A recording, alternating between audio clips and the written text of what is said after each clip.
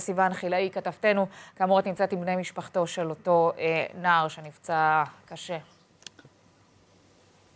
נכון, אז אנחנו רגע נזכיר אה, מה היה פה. בלילה שבין אה, חמישי לשישי, בסביבות השעה 12, המשפחה ישבה כאן אה, בסלון הבית, צפו בטלוויזיה, בכל זאת ימים מתוחים, נשארו ערים עד מאוחר, והילד מוחמד בן ה-12 ישב בכיסא הכי קרוב לחלון, כשלמעשה הם ישבו, לא ציפו לשום דבר, ולפתע בקבוק תבערה נזרק אל תוך הבית, מצית את הווילונות, מצית את הספות. אני רוצה שאבי הצלם שלנו יורה לכם את הנזק הרב שנגרם פה.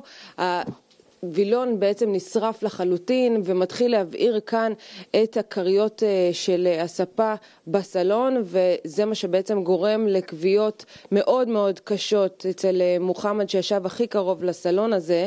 איכשהו מצליחים אה, בזמן לכבות את השריפה הזאת עוד לפני שהיא מתפשטת ושורפת את הבית כולו. אנחנו בכל זאת לא מדברים על איזשהו בית גדול, בית יחסית קטן שגרים בו משפחה שלמה יחד ומוצאים את עצמם בערב ערב אה, רגיל שהבית שלהם מוצת והילד הקטן פה נאלץ אה, אה, להיות מפונה אל בית החולים. אגב, אני אעדכן שהבוקר לראשונה הוא התעורר ודיבר מעט עם המשפחה שלו, אבל עדיין מצבו מוגדר קשה והוא מאושפז בבית החולים שיבא.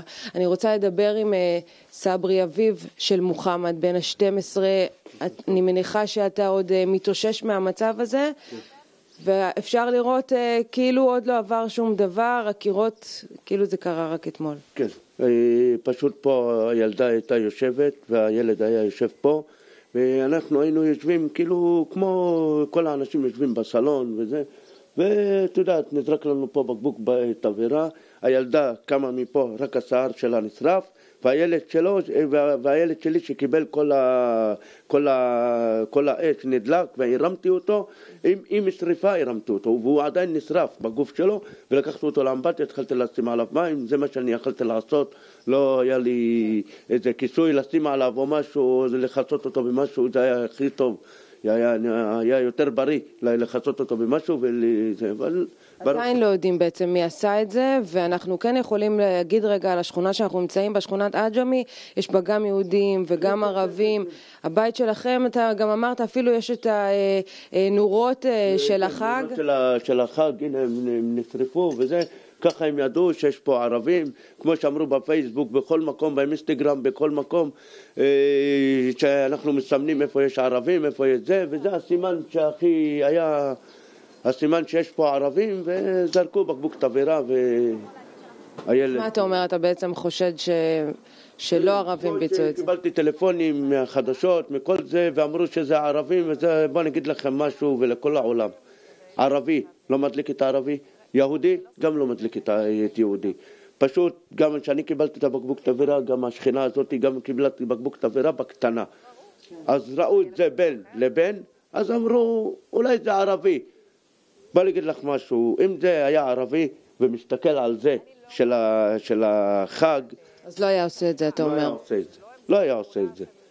ומה שפה, מה שיהודייה פה מזכירה, היא מזכירה מאחד הערבי. יעני, תראי מה זה, אין לו שנאה, להוציא את היהודייה מפה, יגיד לך, תשמעי, תראי מה אתם, עושים. לא, אין לנו את השנאה הזאת.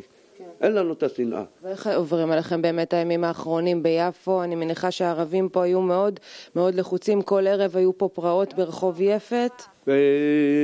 תראי, כל אחד נלחם על המדינה שלו, או על הבית שלו, או שעל הבית שלו רוצים לקחת עמידר, הוא רוצה להוציא כמה אנשים מתוך הבית בגלל הדתיים. כמה פעמים דתיים קיבלו מכות בגלל הם רוצים לקחת את הבתים שלהם בכוח.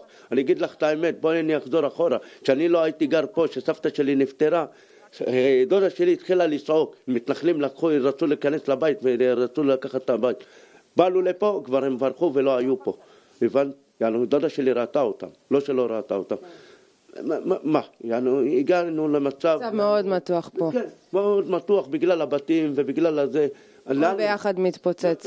ואיך מוחמד הבוקר? אה, מוחמד, אה, שיקום קודם כל בשלום ויתחיל לדבר, מצבו באמת קשה, באמת קשה.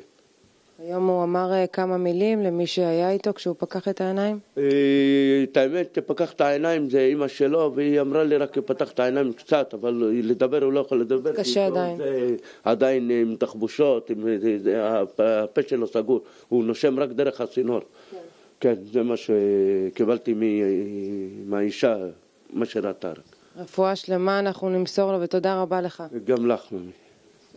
טוב, אז באמת אה, יש פה איזשהו אה, שילוב אה, של כמה דברים שמשפיעים כאן בעיר יפו, גם העניין באמת של הדירות וכניסה של הגרעין התורני כאן לתוך יפו, ממש ללב השכונות הערביות. שכונת עג'מי הפכה להיות מרכז העימותים, וככה זה כבר קורה מדי ערב. הפעם זה קרה כאן במשפחה הזאת, אבל כמובן שזה יכול לקרות אצל כל משפחה אחרת. אנחנו נקווה שהמשטרה תצליח במקרים הבאים לפחות למנוע את זה עוד מבעוד מועד ולמנוע מפורעים להגיע לתוך... לתוך הבתים של האנשים האלה ולמנוע את האסון הבא, אלכסנדרה. כן, סיוון, תודה רבה לך על הדברים האלה.